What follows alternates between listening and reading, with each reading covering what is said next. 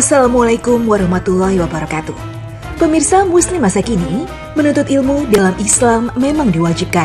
Dengan berilmu, maka Allah Subhanahu wa taala akan meninggikan derajat kita.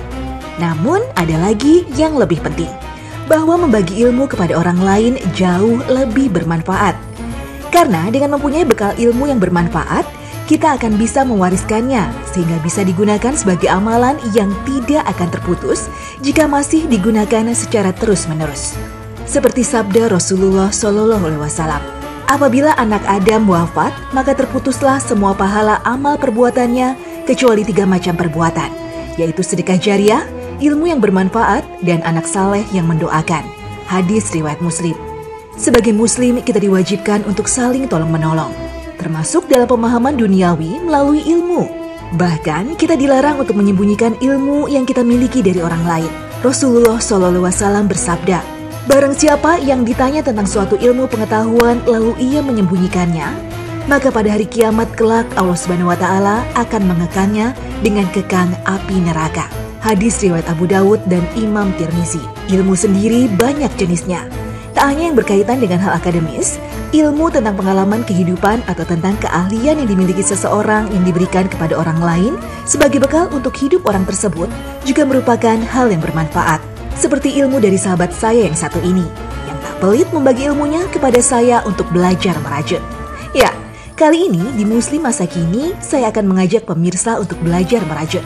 Karena ternyata banyak manfaat yang bisa kita dapatkan dari merajut. Halo, Assalamualaikum. Iya, Mbak Ani. Iya, ini Reni. Heeh, kemarin kan aku kan udah bikin tentang ini tuh, tentang apa sih? Buket snack sama yang talenan hias gitu. Aku boleh nggak sih? Kan kemarin Mbak Ani sempat bilang tuh bisa bikin rajutan. Iya, aku mau bikin rajutan boleh ya? Ini pas banget gara-gara kemarin aku beli tas rajutan terus aku kayak suka gitu. Oke ya udah, ini aku ke rumah ya. Makasih Mbak. Ya ampun, ini saya jadi Sebelumnya apa pemirsa muslim masa kini saya nelpon dulu.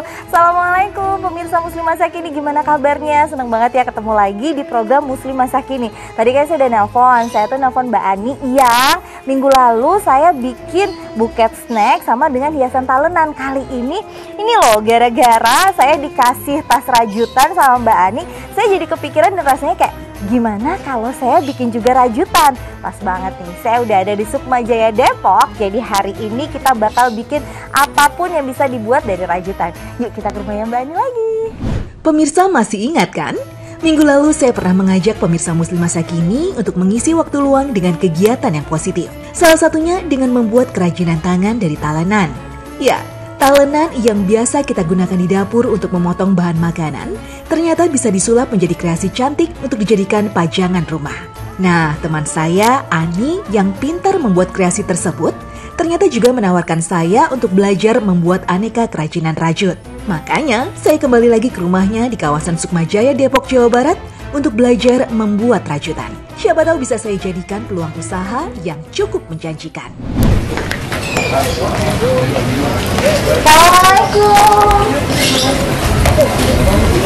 Ini dia rumahnya. Semoga Ani mau mengajarkan saya ya, karena berbagi ilmu itu pahalanya luar biasa. Bahkan digolongkan sebagai amal jariah yang pahalanya tak pernah putus sampai seseorang meninggal dunia. Seperti hadis Rasulullah SAW yang diriwayatkan oleh Muslim. Barang siapa mengajarkan suatu ilmu, maka dia mendapatkan pahala dari orang-orang yang mengamalkannya dengan tidak mengurangi sedikit pun pahala orang yang mengerjakannya itu. Hadis riwayat Ibnu Majah. Karena mengejar pahala itulah saya ingin menggali ilmu milik sahabat saya ini. Dan sahabat saya pun dengan ikhlas mengajarkannya kepada saya.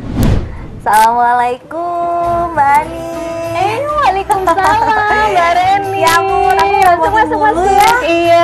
Loh gara-gara Mbak Ani kemarin apa kirimin aku tas rajut ke rumah aku, jadinya kayaknya aduh bikin rajutan seru nih, makanya lah tadi nelpon Mbak Ani ke sini. Oke. Langsung aku datang. Oh, ini udah lagi siap-siap aja. Iya. Oh, lagi ada pesanan. lagi. Iya, alhamdulillah. Oh. Lagi rame masker nih. Oh gitu. Sama sepatu baby juga. Oke.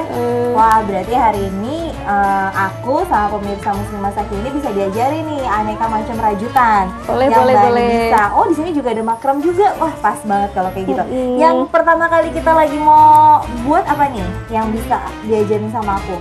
Eh, untuk pemula lebih Hah? simpel itu bikin kayak bros dagu Ah, kuku gitu itu boleh, boleh, boleh. Eh-eh. soalnya kalau langsung sepatu kayaknya agak-agak Lama prosesnya. betul Ya kayak matematika kalau ini oke. Ya perlu udah. hitung-hitungan Berarti ajarin aku juga, bros, biar bisa langsung aku pakai. Ya kan? ah betul sekali Yuk, yuk, yuk. Yang pertama gimana ya caranya? nah ini aku ada benang Oke. Eh, Untuk merajut, bahan utama yang paling dibutuhkan adalah benang. Ngomongin soal benang, ternyata benang itu banyak macamnya. Oke, yang sekarang kita bakalan lakuin berarti kita bakalan bikin eh, bros, bros untuk kerudung. Mm-mm. Nah, aku boleh kan diajarin? boleh ini kita pakai hakpen Oke. nomor 3 atau 4 boleh Oke, tuh. Mm-mm. Oh iya, jenis-jenis benang untuk eh, simpul ini pun ternyata beda-beda nih. Iya, Kayak ini betul. ada tipe benangnya apa? benang poli Yang Nah, tadi ini sepatu itu lebih halus milk ya kayaknya. ya? cotton khusus buat sepatu baby, rok baby gitu. Oke, ada lagi nggak Hmm. jenis benang yang biasanya dipakai? Ada katun Bali, macam-macam Oh, banyak oke. varian kalau aja. Nah, pemirsa, ini dia salah satu pentingnya bersilaturahmi dengan sesama. Kita jadi bisa menambah ilmu kan? Kita jadi tahu informasi dan bisa menambah ilmu. Salah satunya tentang ilmu perbenangan tadi. Bicara soal benang, ternyata di dalam Al-Quran benang juga tersebut di dalamnya. Yakni dalam surat An-Nahl ayat 92 yang artinya, dan janganlah kamu seperti seorang perempuan yang menguraikan benang yang sudah dipintal dengan kuat sehingga menjadi cerai berai kembali. Quran Surat An-Nahl ayat 92. Maksud dari ayat tersebut adalah agar kita selalu beristiqomah di dalam melakukan kebaikan. Jangan sampai perbuatan baik yang sudah kita lakukan secara istiqomah terhenti begitu saja dan justru dirusak oleh perbuatan yang sia-sia. Seperti ibarat benang yang dipintal dengan kuat, namun jika tidak dijaga bisa kembali rusak dan tercerai berai. Pemirsa, semoga kita semua selalu bisa beristiqomah di dalam kebaikan. Amin ya robbal alamin. Pemirsa, ngomong-ngomong, ternyata merajut, hmm, itu nggak mudah ya, buat saya terutama. Saya harus belajar membuat dasarnya dulu. Nah, ini tuh kita mau bikin eh, rajut dasar. Iya, ini knot. bikin slip knot dulu. Oke. Mau bikin apa pun, Heeh. ini bikin slip knot. Kalau slip Oke. knotnya berhasil, nih, Heeh. ini bisa ditarik lagi, Oh. kebuka lagi. Tapi kalau slip knotnya nggak berhasil, dia ngekunci. Mm-mm. Oke. Ya. Coba Mbak Reni. Enggak dong, tentu saya nggak bisa. Oke, ya lanjutkan bikin rajutannya. Nah, biasanya kalau bikin bros itu butuh waktu berapa lama, Mbak? Oh, sebentar banget. Oke. Oke, Oh. kita bikin habis slip knot, Heeh. kita bikin chain atau rantai gampangnya ya. Oke. Nah, ini kan bentuknya kayak rantai. Heeh. Rantainya ada 4, 1, 2, 3, 4.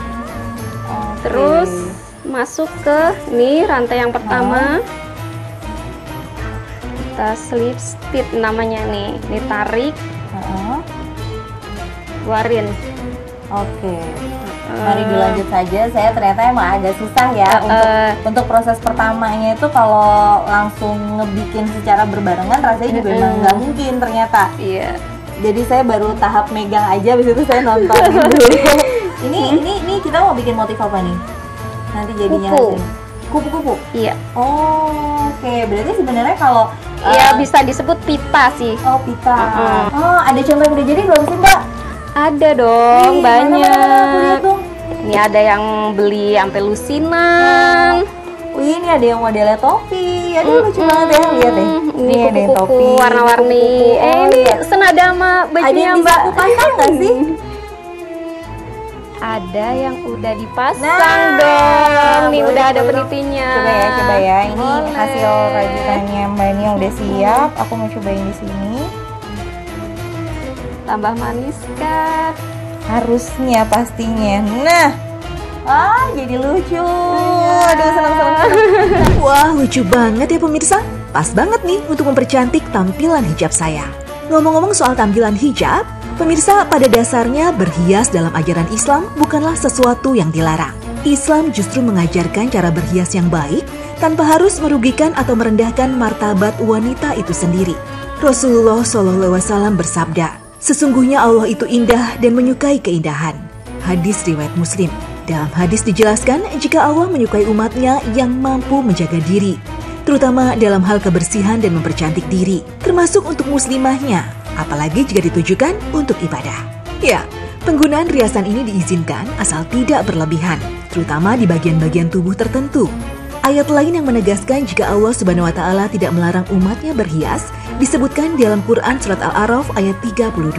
Katakanlah siapakah yang mengharamkan perhiasan dari Allah yang telah dikeluarkannya untuk hamba-hambanya dan siapa pulakah yang mengharamkan rezeki yang baik?